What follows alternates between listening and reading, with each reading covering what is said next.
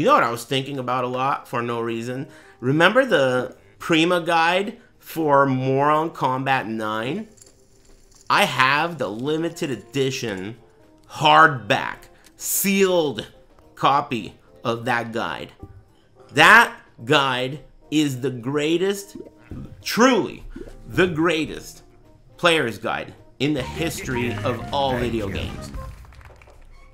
That shit is incredible. It's so fucking crazy shitty. What about that review? There was a review by this British guy where the guy is reviewing it and in the review of it, he makes all these funny jokes, and then at the end, he sets it on fire and then steps on it. It was sick. It was so sick. Uh, it was so sick. Sektor's anti-air? That's not Sektor, it's Cyrax, scrub. He, it says, first of all, the layout of the guide is like really offensive. Basically, there are gigantic screenshots. So a screenshot is totally worthless. It's a huge screenshot. So imagine Ryu throwing a fireball, right? This is a page about your moves. It's supposed to give you strategies and explanations, maybe frame data, maybe something, right? This page, it says Ryu's fireball, Hadouken, whatever.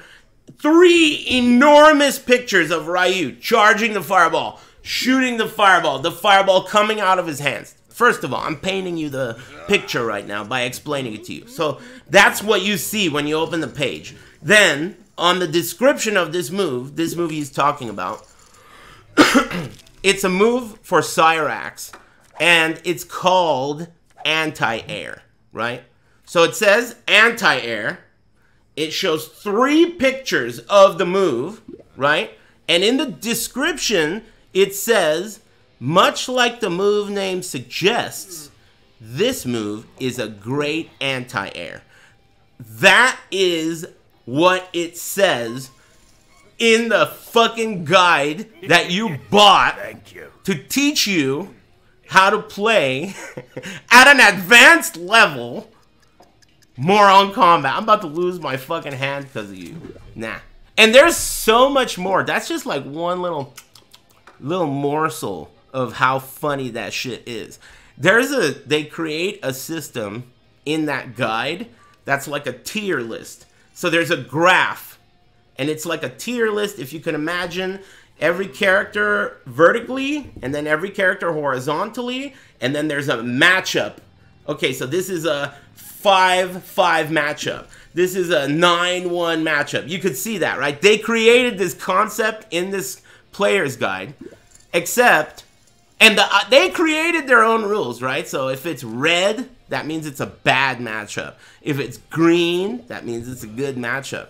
But they themselves have all these fuck ups all over it. And the guy who's doing the review, he's like, okay, okay, this is a 5 5 matchup but why the fuck is it green? There's like all these fuck ups like this is a bad matchup that's green. this is a good matchup that's red. What the fuck does that mean? The thing is so funny, dude. Limited edition hardback. Sealed. Sealed. Who's the British guy? I don't remember his name. But you can probably Google this video. I bet it's still on, on there. Kaworu, that's him. Yeah, Kawaru. Mm, anyway, it was pretty funny. He sets that shit on fire and starts talking about Scorpion.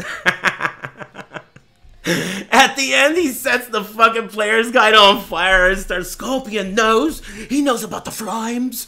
He's talking all this shit. That was such a good review, man. That was like 11 years ago. Oh my god.